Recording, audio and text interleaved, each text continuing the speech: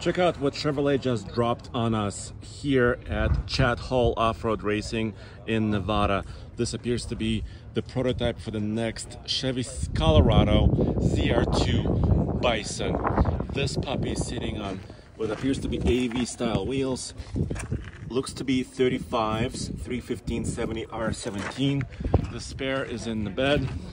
It's got steel bumpers.